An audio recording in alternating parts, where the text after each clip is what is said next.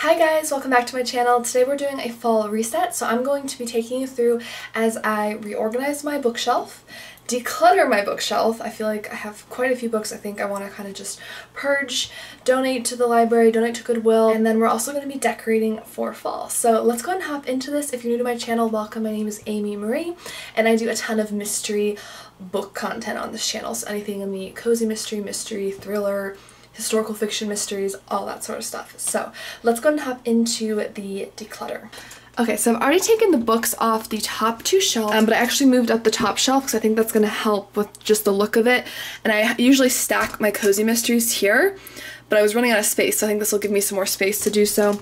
Um, the books on the bottom shelves here are more like nonfiction, and the very bottom shelf is actually more like yearbooks and like sentimental books from my childhood so we're not going to touch those because I've gone through those before and I'm pretty set in keeping those but I do have some stacks that I took off here I want to kind of, this is the shelf that you kind of see behind me when I'm usually sitting in front of my filming area and bookshelf, and I want to kind of color coordinate this like with fall colors, so maybe like orange and black I was thinking would be fun.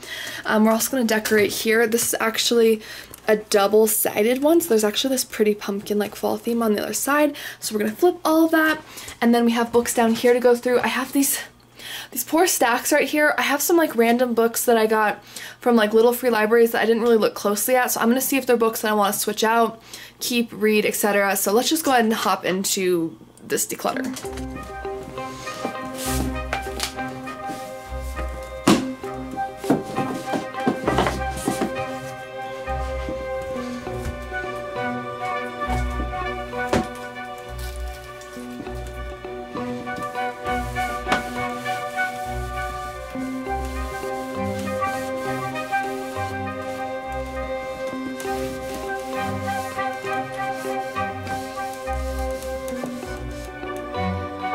This is what I'm looking at right now. Um, just a handful of books. I'm pretty sure most of these I'll be keeping because these are some of my favorite series, but we'll go through them anyways.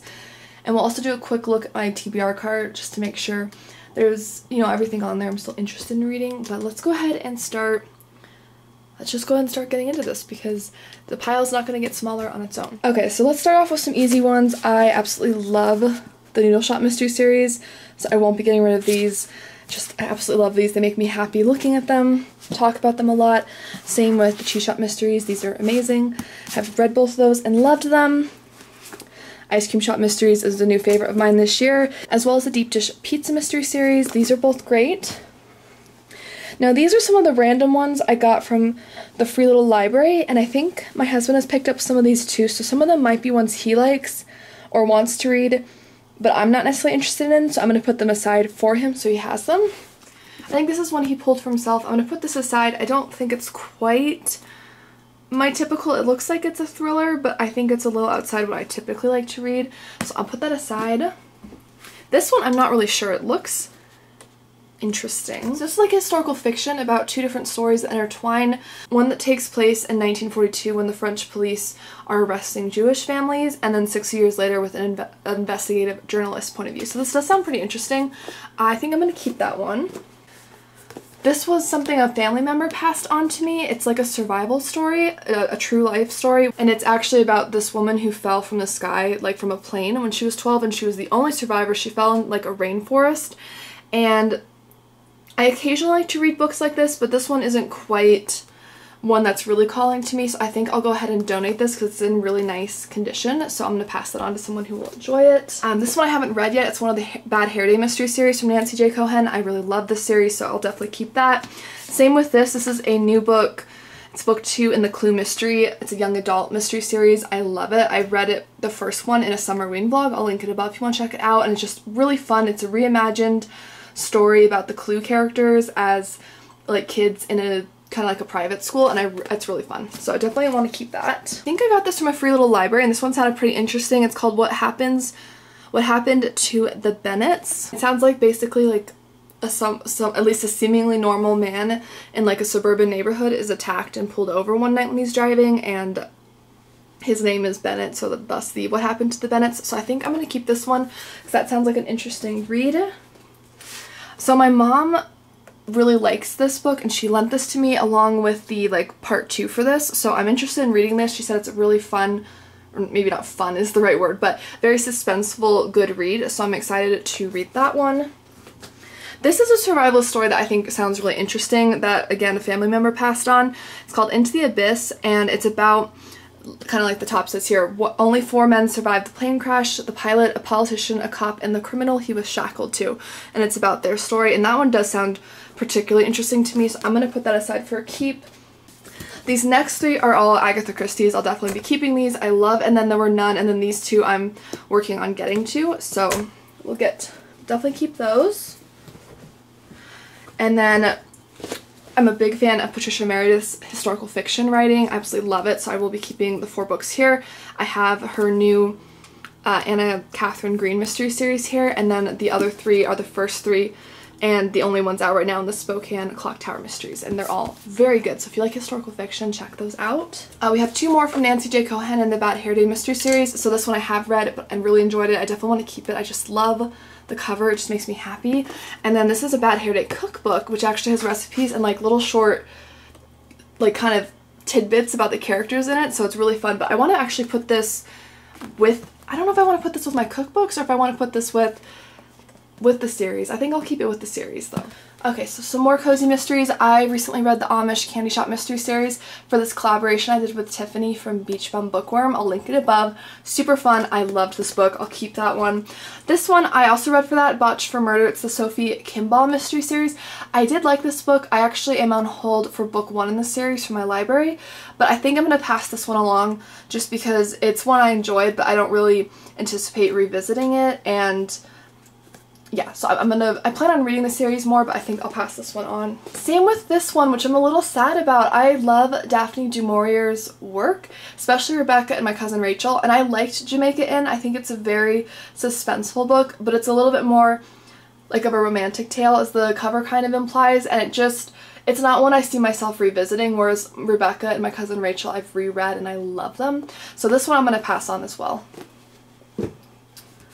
This is when I started, but then I kind of put aside just because it was a little, I just wasn't in the right like reading mood for it. And this is a historical fiction cozy called A Play of Piety by Margaret Frazer. It's a Joliffe the Player mystery. I do want to revisit this, so I'm going to put this in my TBR pile. Now these are some of the random ones that I don't, I think we just grabbed at certain points. I know this was one my husband wanted, so I'm going to pull this out for him. He might have wanted some of these other ones because these aren't really ones I think are quite my taste. So I'm going to put those aside so that I can get them off my shelves. Um, this one here was kind of random. It, it, it, it looks like a library book. It was in the free little library. It's not like I didn't I didn't take it from a library, but um, it's called The Shamer's Daughter.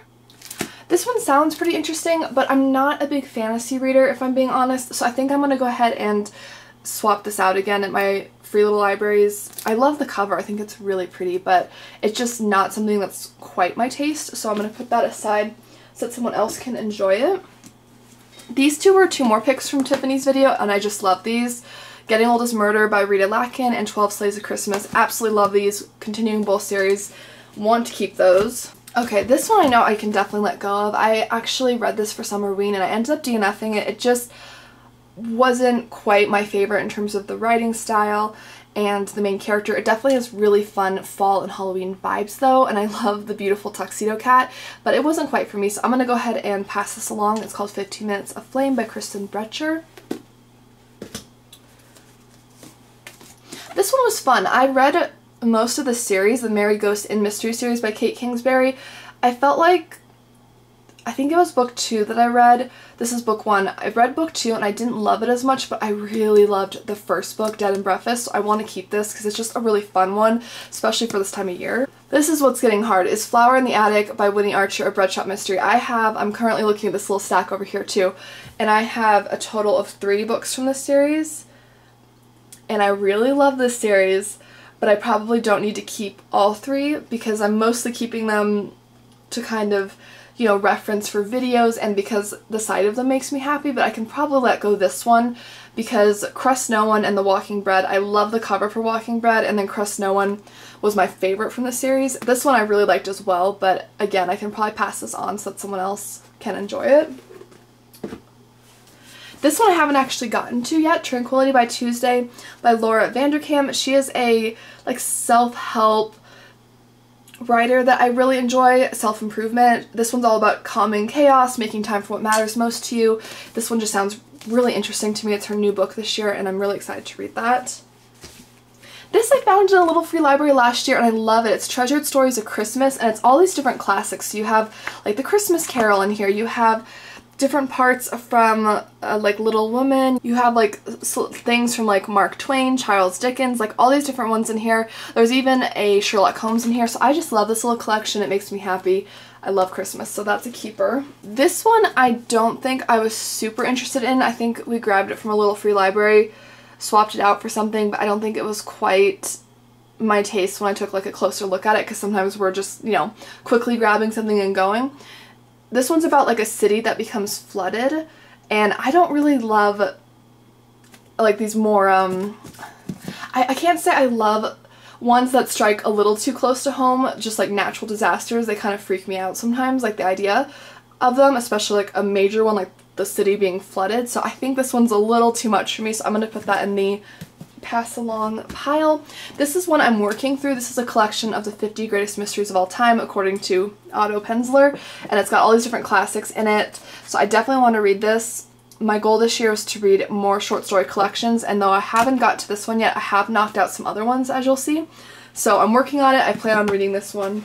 Okay, so these are a couple more books that I recently read for a reading vlog. Again, I will link that one above for you. This is Curses Boiled Again by Shari Randall. I absolutely loved this. I'm excited to read more from this series, so I definitely plan on keeping that one. This one, however, I did DNF. It just writing style wasn't for me. It just wasn't quite a fit for me, so I do want to pass this on so that someone else can enjoy it because of course everyone has different tastes and I'm sure there's so many people who would love this but it just wasn't quite for me so I'm gonna go ahead and put this in like a little free library so someone else can enjoy it. This is one we found in a little free library. It's actually uh, Agatha Christie's autobiography so I'm definitely keeping this. I haven't read it yet but I want to. I love this Haunted Old West by Matthew P. Mayo. These are like, it's part, I want to say it's like part it's based basically he goes through and he writes in like kind of a fictional way these like old legends that are told throughout the old west and you kind of get to learn more about the locations. You get to learn you know like this one's in idaho city and he kind of tells you about like kind of the history behind it if there's any merit to the legend and then he kind of writes a fictional account based on that and i love this book. I think it's so interesting Likewise, I really enjoyed this. This is Dead Mountain, The Untold True Story of the Dyatlov Pass Incident by Donnie Eichar, and I really like this. He's a journalist who went to Russia to really explore this, like he went twice. It's a really immersive book. Um, whether or not you agree with this conclusion, I think it was a very interesting read, and it certainly presented a different ending and like kind of theory behind this incident than a lot of like different videos and things I've watched on it before. So I really enjoyed that. This is a childhood favorite of mine, The Christmas Doll. Does anyone else remember like all the Scholastic book fairs when they were a little kid? this was one I loved as a child. I don't know how it got in this pile. I need to put it on the shelf with all of my other like childhood favorites, but I love this. It's just like a heart of gold story about two sisters who have just nothing except this Christmas doll and it's just, oh. I, I should read this this Christmas just for the fun of it. It's just so nostalgic and I just love it. And look at the beautiful absolutely beautiful like art on there. I just love it. Really beautiful book. Um, this is another Bad Hair Day mystery series. It's actually a short novella and it's a Halloween themed one and I thoroughly plan on reading it this year again because it's just so much fun. So that's a keeper, definitely. Uh, Finlay Donovan is Killing It by Elle Cosimano. I really enjoy the series. I don't know how I feel about the future of it. I've read all that's out so far and I'm not sure where the author's taking it, but I'm really curious to see where she goes with it. And this book, especially the first one, was a knockout, so I really like that. Another childhood favorite, I don't know how that ended up here, but I'm real I was really fascinated with any type of like mythological or fantasy creatures as a kid. So this one's all about the secret history of mermaids, which you can just see like the illustrations on here are just so fun. I loved books like these, so it's a definite keeper for my childhood. We currently have eight donations, which maybe doesn't seem like a lot, but this is my second time doing it this year. I'm trying to be kind of, I'm trying to do it in like a regular basis. Ah! Okay.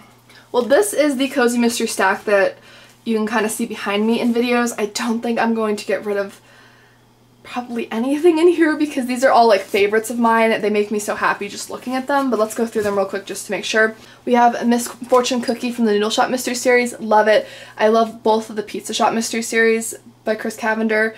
We have a couple from Jenn McKinlay.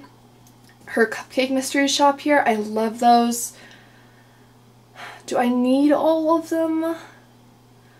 Probably not, but I really want them. Um, I love Abby Collette's Soul of a Killer. This one's really good. Rhys Bowen, her 12 Clues of Christmas. Absolutely love this. I would love, I don't usually annotate books, but this one had such a complicated plot. I would love to reread this and go through and like annotate it and really break it down because she did this was one of the most like complicated plots I feel like in a cozy mystery because there's actually 12 clues of Christmas. She did an amazing job. It was just and I love this series to begin with, but this was a standout, and I love Christmas, so that's a keeper. Uh, definitely keeping The Rocky Road to Ruin, Ice Cream Shop Mystery. These are the other two bread shop ones I was talking about. I just, I love the cover on this one especially, and then this was my all-time favorite from the series, so we already got one out of three gone from this, so we'll keep those. Um, this is part of the Dangerous Type Mystery series by Paige Shelton. I used to have two of these. I did declutter one just to keep one for reference for videos, so I'm going to hold on to that. And then we also have Fatal Fudge Swirl, which I highly recommend for Halloween cozy. Amazing. And then Against the Current by Olivia Matthews. I loved this. This is one of my like favorite new cozy mystery series that I've read this year. Cannot wait for book three coming out later. So those, yeah, that didn't seem like a very successful run, but like I said, these are some of my all-time favorite series, so I didn't expect to really go through that we need to be honest with ourselves here. I am not a huge short story person. I've had to make a very dedicated effort to read short stories this year and I've gotten more into them, especially like Agatha Christie short stories I've really loved, Sherlock Holmes short stories, but I don't know what it was, but for some reason in high school I thought I like adored Ernest Hemingway's writing and I did like The Old Man and the Sea because I read that for school, but I do not feel the need to, to read all of his short stories. I've read some of them and, I, you know, most of them were pretty good, but it's just, reading tastes have changed. I'm not going to read this, but I think this would be a really nice, I feel like the library might take this, or Goodwill or something, so I will pass that along. This is actually an interesting set. It's Twisted Tales, so I think these are young adult books on three different classic, like, kind of Disney tales, but they tell it from a different perspective. So I'm really interested in that. So for example, this one here is about Aladdin. It's called A Whole New World, but what if Aladdin had never found the lamp? So I do like kind of fantasy books like that. I really like retellings. So I think I'm definitely going to hold on to these and get to those. Okay, so these stacks, again, I think are mostly favorites. These are ones that I often have sitting behind me on that top shelf. So not anticipating a lot here, but we're, we're gonna try. Um, Death Comes to Pemberley. This is a actually a Pride and Prejudice like sequel, and I'm kind of curious about it. It's supposed to have like a murder mystery in it. I found this in a little free library. I haven't read it yet, I, but I do want to read it. This is a short story collection that I'm, I'm working my way through all the Hercule Poirot ones. Uh, same with this, Miss Marple. I'm working my way through that series. I absolutely loved this. I read this last year, Marmee. It's a, a retelling of Little Women from the mother's perspective. I highly recommend it. And it's time. I love this because of how it looks on my shelf, if I'm being completely honest. And like I said, I do really love The Old Man and the Sea. But I've had this for a while and I still haven't read all four of them. And it's just, I'm just, it's, it's time. I appreciate this book. I'm glad I had the opportunity to own it. But I do not need to continue holding on to books that I'm just not talking about on my channel or the ones that I'm not referencing or rereading or just that don't give me like joy every time I see them.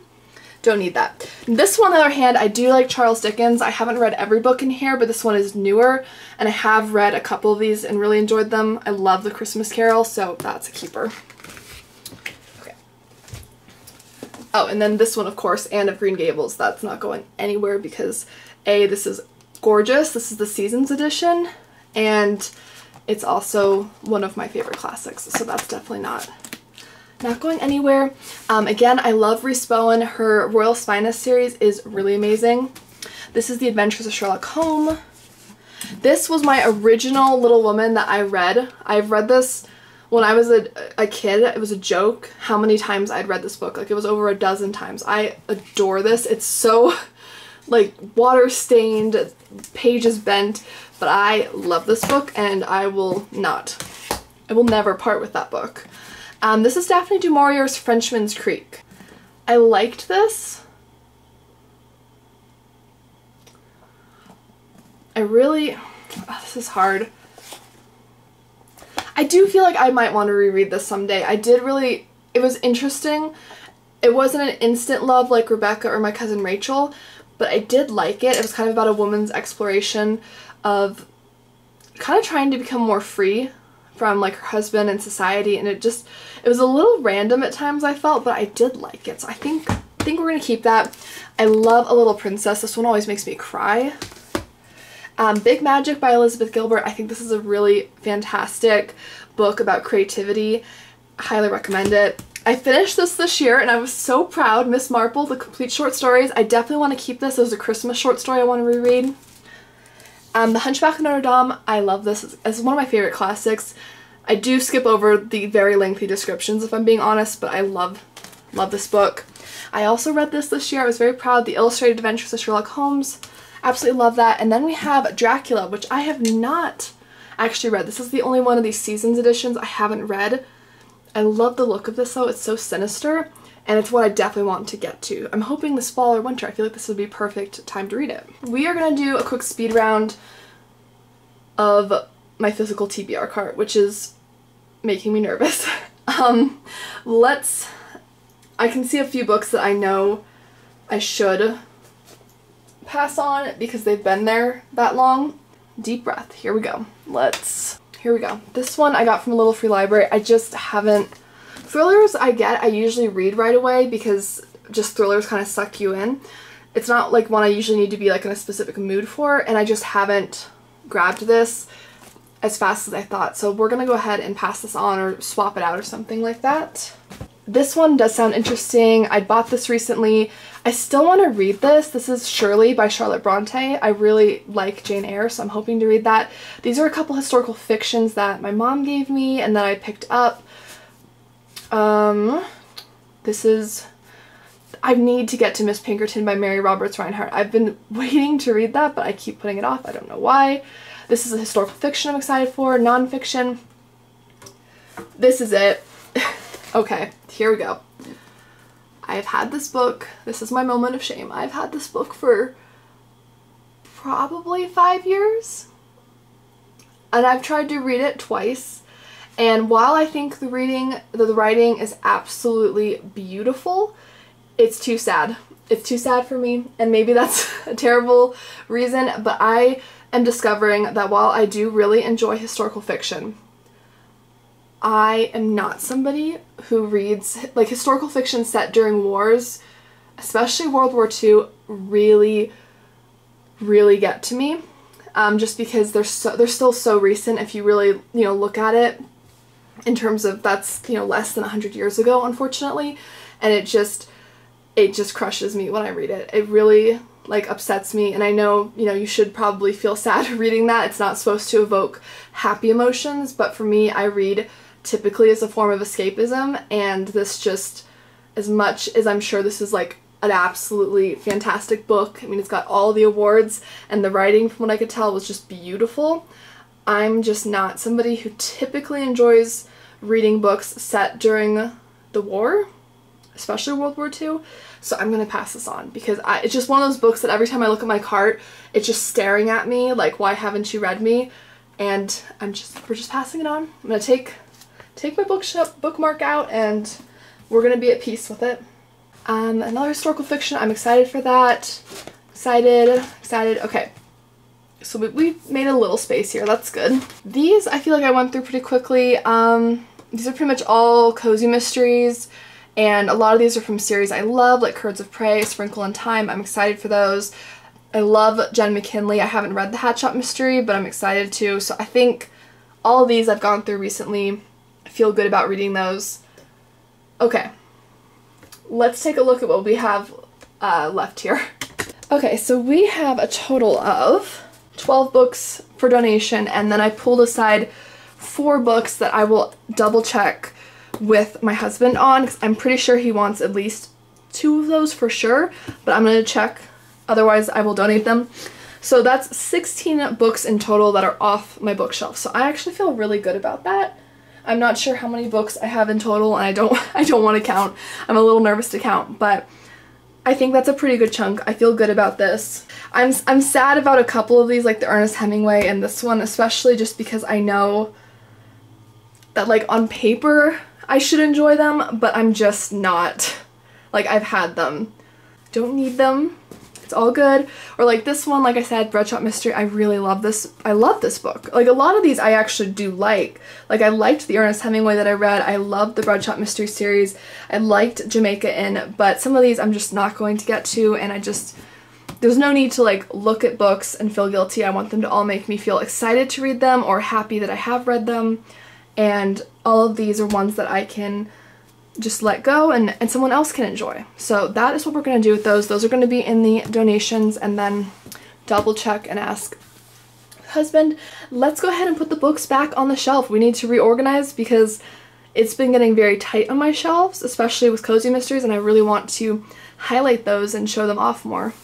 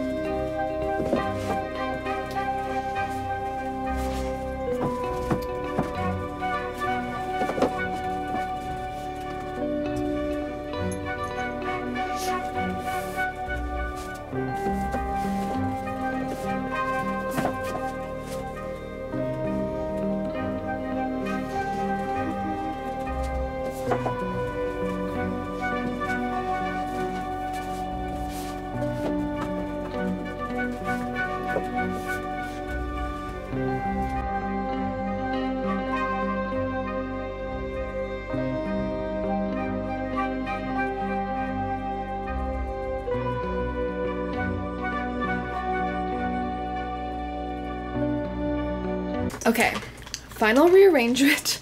I promise, I think. Here is top shelf.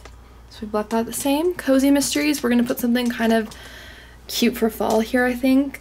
I did sort these from tallest to shortest to keep it consistent. Um, otherwise, bottom shelves are pretty similar. And then here, what I did is I used this little Hogwarts castle. These are the books that I have not read. These are all the books that I have read, minus the Sherlock Holmes volume, which I'm part of the way through. And then bottom shelf here, I actually moved some of my nonfiction like writing books over here to make room for when I was organizing over there. And I have a couple Disney ones, but mostly just empty space, which is really nice to see. So we pulled out the Halloween bin, and we also had some Christmas stockings in there, but that is besides the point. I think this would be really cute like here and I think when I'm filming you'd actually be able to see that too which I think would be really fun so let's do that actually we're gonna put this it's like this laundry door here and I think that is perfect because it's not a door we use a ton but it adds a lot of decorative value. Then we also added this little pillow here, which is one of my favorite like reading chairs. Really cute, excited for that. Definitely gonna keep this though, because that's perfect for fall. And really any time of year in my opinion, but let's just do that. I like it. We're gonna add a little bit some something else. I'm thinking like this. Be cute. Okay. I think that's like simple but nice. Really cute. I think we need like a little something on these shelves, something up there like we said, and then I'm thinking maybe this on top of those books. It's very lightweight, so I think it'll prop up. Yeah. I think that's cute. I am not a master decorator by any means, but I think that adds just a little something. We got the boo sign. Yeah, this is coming together. I have a couple of these small, like little sparkly pumpkins, so I think I'm just gonna scatter these around the bookshelf. Okay, I just found this like pumpkin strand. I'm not sure if this is gonna drive me crazy or not, but for now we'll keep it. I think it's kind of cute, whimsical. I don't know. It might drive me crazy. We'll see if it stays up. Okay, final look at everything we did. So added just a cute little pumpkin here. I use these to kind of sort cozy mysteries that I'm not going to read yet. Like these are all winter ones, so I'm saving those for winter. Or this is like the second book in a series where I need to read book one first. Kind of organize them in that way sometimes. But here we have some pretty pumpkin like reflectors. The spooky, nicely organized. A little more pumpkin there. Added a cute pumpkin or so there. And then this one obviously very much an autumn Halloween vibe. I did sort out a couple books here. I didn't get a perfect color scheme, but we definitely have like a more purple orangey vibe, which I feel like is very fall. And then a Pretty Witch's hat. And I added this up here, which has a picture of Scooby-Doo because that's just quintessential fall time for me.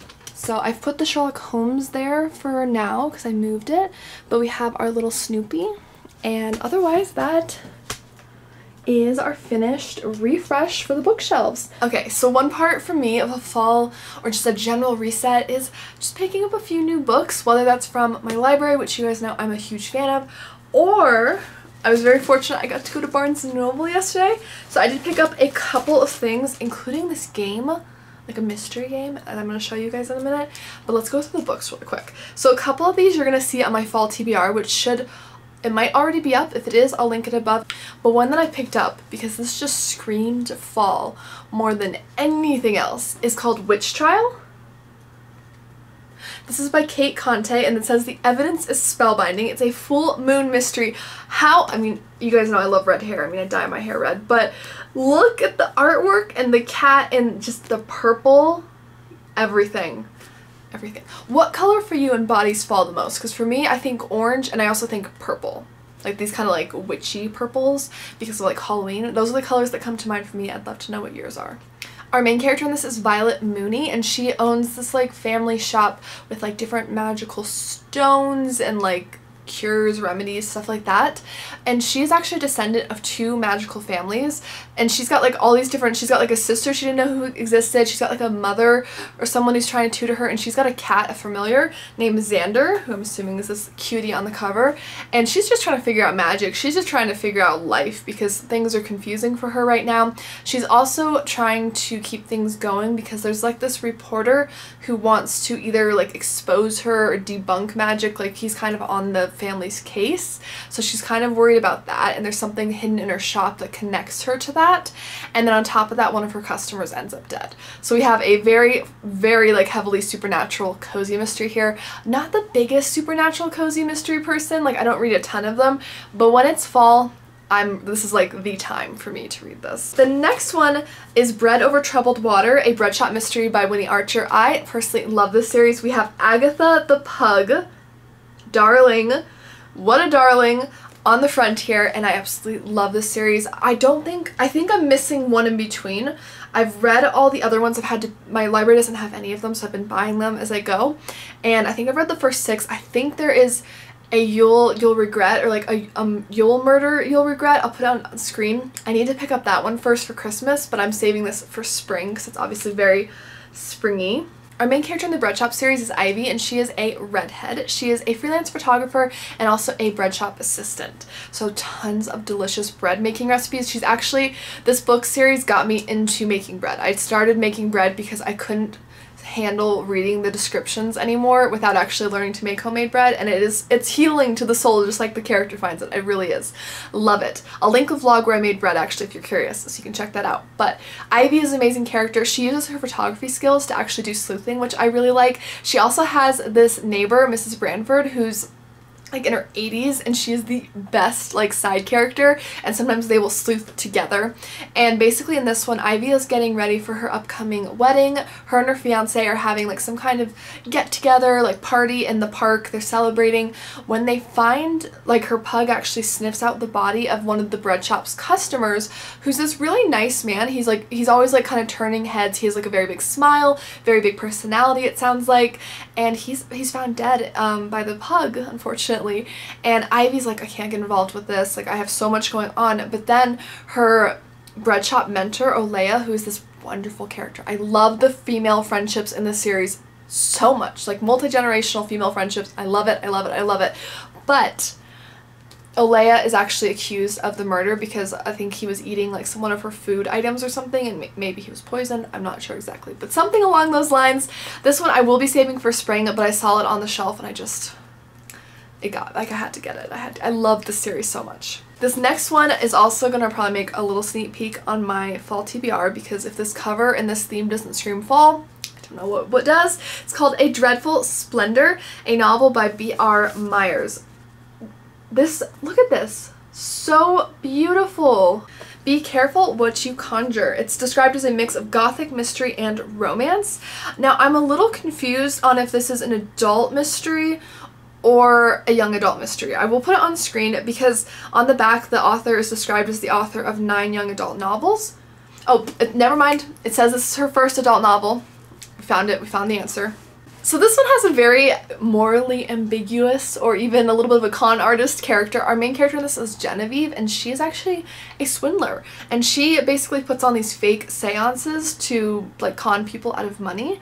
And one day she gets caught. But she's given an offer that if she can do a fake seance that's convincing enough to help this young lord over his grief because he recently lost his bride and he's just, you know, he's grieving, he's in a lot of pain, and the guy tells her, like, if you can do a seance with this, you know, his bride, and, like, kind of help him get over that, we'll let you go. Like, we'll, you know, we'll, we'll, we'll, like, call it even, right? So she's like, okay, what choice do I have? So she goes, but she finds out that the Lord doesn't actually want a seance because he's actually convinced that his bride was murdered, and he wants her to look into that. So to fulfill her end of the bargain, she needs to solve a murder mystery. So this is supposed to be like it says gothic mystery romance. I'm so excited for this. This takes place in Victorian London. And then this one, if you guys have read any of these, let me know. But I'm really hoping it'll be good because it sounds incredible. So it's a modern author who's using Agatha Christie's character, Hercule Poirot, and making her own stories from them. And this one is called The Monogram Murders.